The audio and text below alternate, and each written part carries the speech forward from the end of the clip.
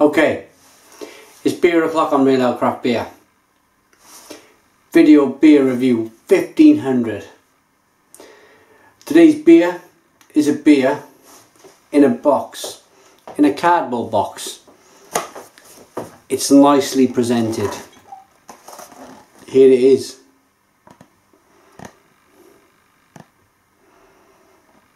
It's in a lovely black cardboard box with lovely gold writing. But I've not chosen this beer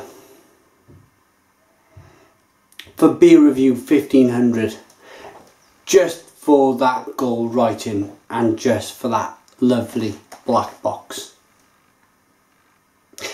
It's brewed by Shepherd Neame, Britain's oldest brewer in collaboration with Sigtuna Brewhouse in Sweden. One of my favourite breweries from Sweden. Great beers. And that is also not one of the reasons why I'm reviewing this beer today. And I want to make it clear. It's been aged in bourbon barrels. Again, that is not the reason why I'm reviewing this beer. You may all be sitting in your chairs now watching this beer review thinking, yeah, he's reviewing that beer because it's got gold writing and it's a black box. But I tell you not, it's not the reason. The reason why I am reviewing this beer for my landmark 1500th beer review. And let me tell you, it is a landmark. Look how old I look. It's been four and a half years of, of enjoyment, of happiness, of meeting brewers, of struggle. It's been struggle getting this channel off the ground. I kid you not.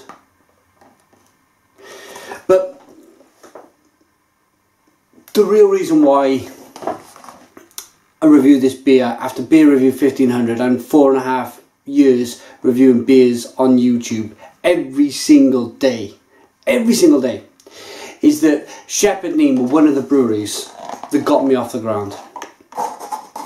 They really helped me with my career. I was at the GBBF in 2011 when a lovely bloke called Mr. John Humphreys from Shepherd Neame tapped me on the shoulder and said, Would you like to have a beer? Of course. I was at the beer festival. We had a beer. He introduced himself as Mr. John Humphreys from Shepherd Neame. And at that stage, I was just reviewing beer in my kitchen. I was at the beer festival to interview some brewers, to have a good time, to drink some good beer.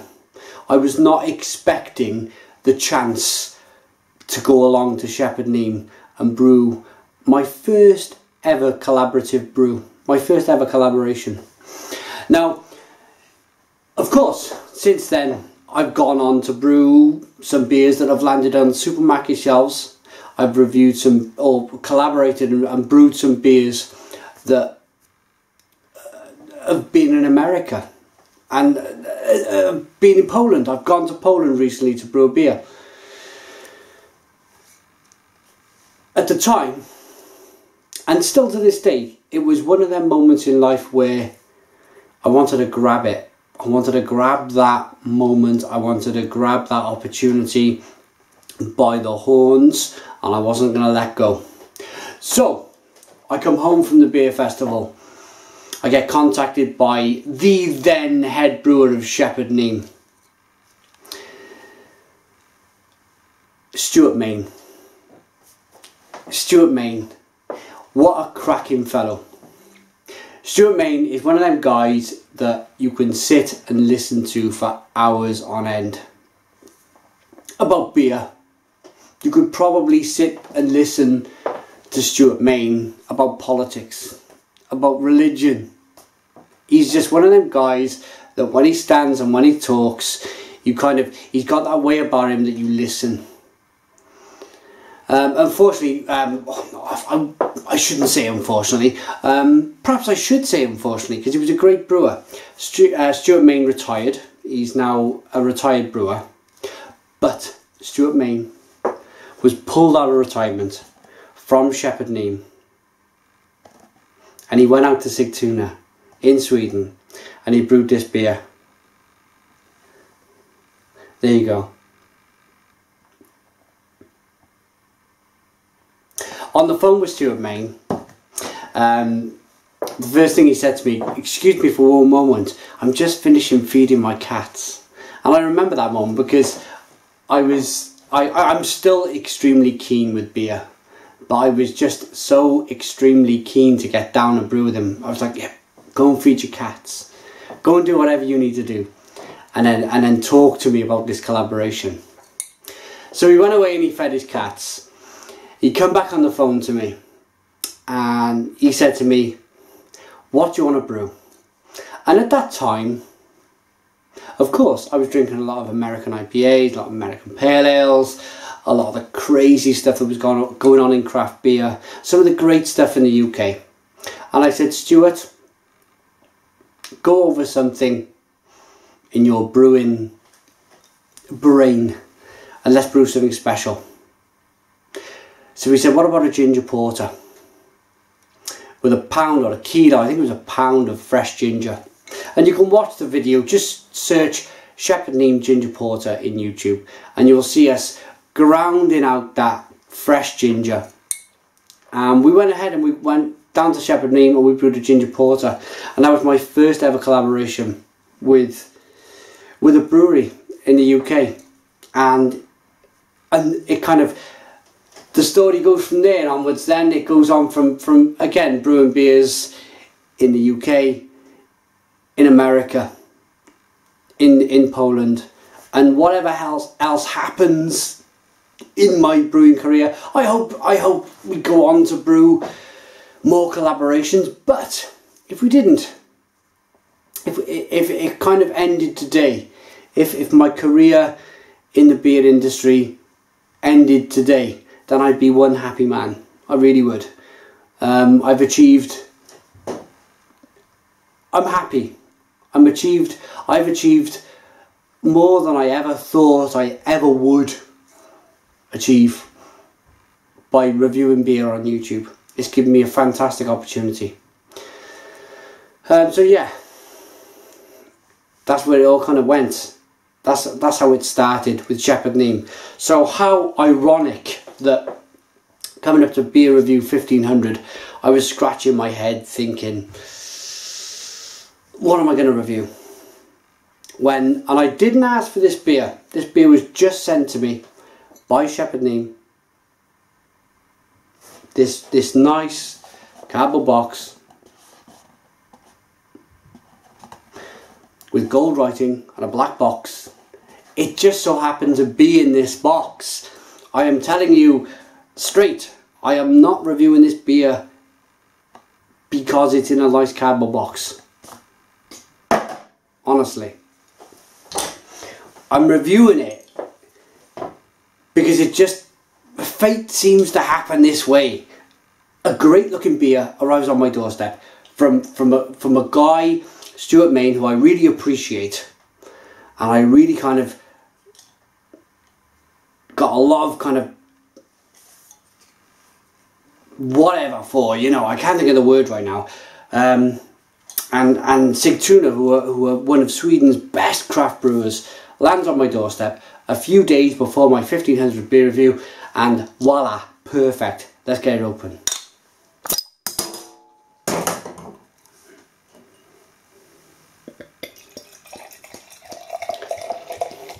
After that little story,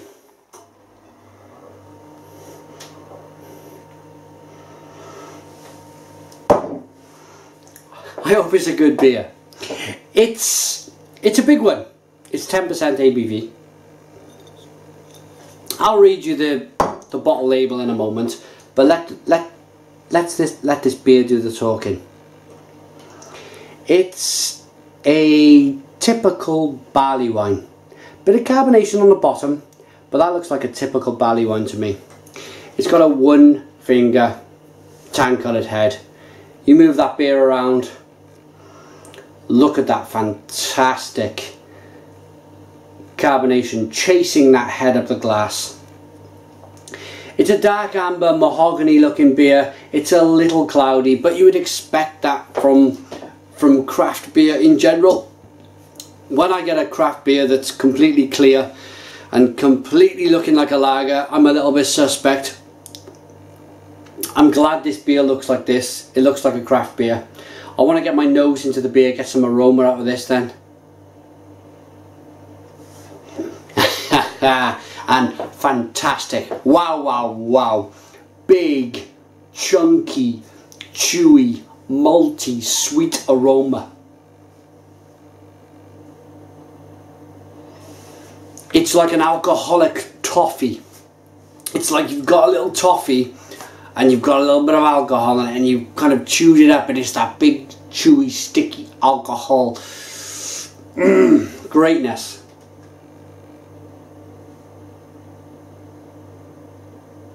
bit of chocolate bit of coffee bit of caramel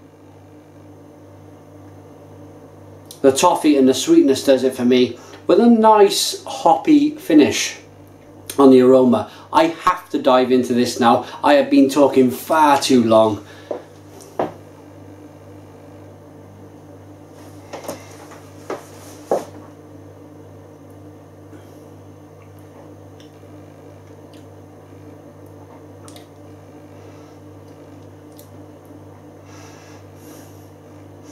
Yeah. That's good. That is really good.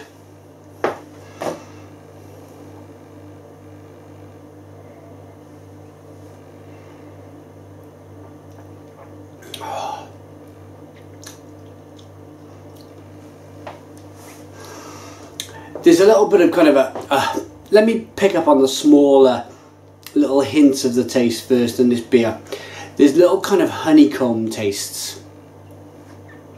There's little kind of burns of alcohol. You have your obvious, for me in a barley wine, that big kind of, in a mix between a hoppy and a sweet taste, which indicates good balance.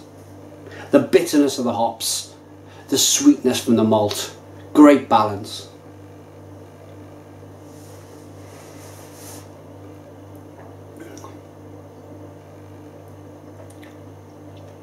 It's so drinkable. It's so drinkable. It's a little, I will admit, it's a little hot. There is quite, I'm going to save that moment for the final thoughts and the rating. Let me carry on. I need to make my mind up.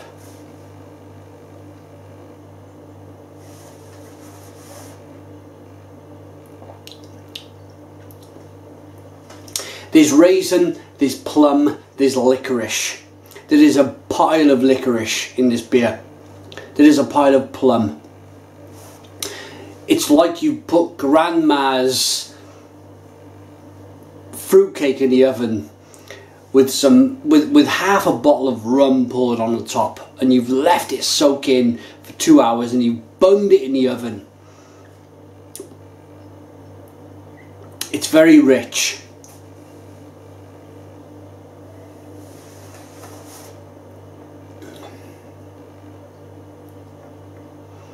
but it's good. It's good. I'm not appreciating it as much as I could because ideally if I had a second bottle of this this would last me all evening. I'm drinking it quite quickly to review the beer for you guys and I'm drinking it a little bit too quickly for my liking. For most people's liking. You don't rush down a barley wine at 10%. Who are you?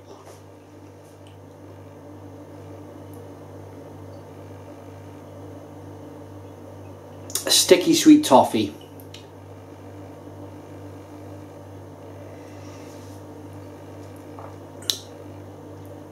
Plum raisin licorice. It's fantastic. I'm going to give my rating. But before I do, I want to I want to give a quick kind of read. I want to read the back of the label. Um, for me, Stuart Main's a, a, a, complete legend in the brewing industry. Uh, Stuart Main with over with over let me start again. Stuart Main with over 40 years in the trade, a legend in his native UK versus Emil Linden much younger and with less experience but already well respected in Sweden. You can imagine, can you? You can imagine that meeting when when these two guys got together and they realised that they wanted to brew a barley wine. Stuart Main would have said, "I wanted to, I want to do it like this, and I want to do it like this," and you can imagine the younger Swedish guy saying saying maybe we had a bit of this and maybe we had a bit of this. And they come together and they and they kind of realize what they want to do. I would have loved to have been a fly on the wall of that meeting just to be able to get down to the nitty gritty that final detail of the recipe that they that they put together to come up with this beer The result of this meeting across generations is an exciting combination of tradition and innovation, of British craft beer making history. I'm making words up, sorry. Of British beer making history and modern Swedish craft brewing. Sigtuna Brewhouse and shepherdneame.co.uk. Check them out. It's a collector's edition. For me, I know it's a long review. I know you're probably thinking, come on, give your rating. But how many people in their lives get to stand in front of a camera and review 1500 beers? It's been a journey. It's been a massive journey. Am I at the end of this journey? I don't know. How far can we go? How many more beers can we drink? How many more styles can we try? Am I just an emotional wreck after drinking all of these beers? 1500 beers. I've had to take nine days off. I've had I went to Poland and I and I drunk a lot of beer. And then I went to Italy and I drank a lot of beer. And I became a little bit ill in Italy. A couple of stomach problems. And I decided to have nine days off. Can my body carry on? Can I carry on?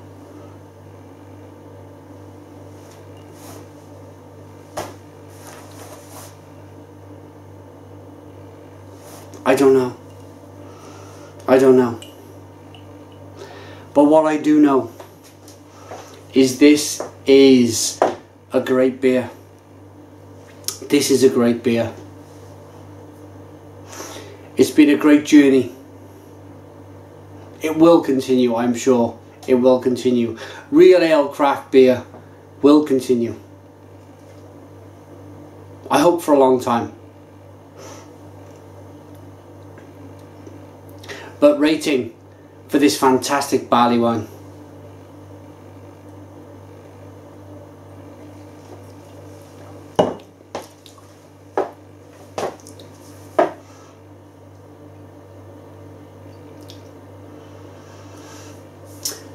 I'm going to give it an 8 out of 10. It's an 8, 8 out of 10 for real ale craft beer.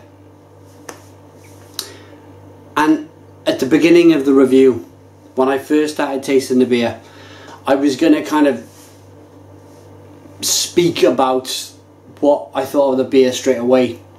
The the but I wanted to check. I wanted to carry on drinking. I wanted to make sure. It's a little bit hot. I reckon if you age this beer for two years, that alcohol burn that you get will subside and it'll be a 9 or a 10 out of 10. So, let me pick the box up. If somebody's giving you a 2014 edition of Shepherd Neame Sigtuna Brewhouse Barley Wine 2014, put it in the cupboard for two years and it'll be a corker, let me tell you. It'll be a 10 out of 10 corker of a barley wine. But for now I'm going to give it an 8 out of 10. Just honest Joe kind of beer reviewing style. Um, it's a little bit hot. It's a little bit kind of alcoholic. But it's still a great beer. Stuart Main, I wish you the very best in your retirement. I wish Shepherd Neame the best future they can possibly have as British, Britain's oldest brewer. And I wish Sigtuna Brewhouse, this young Swedish brewery, the very best for the future. Thanks for watching Real Ale Craft Beer. Put your comments in the comments box. Please subscribe to our daily beer reviews and cheers.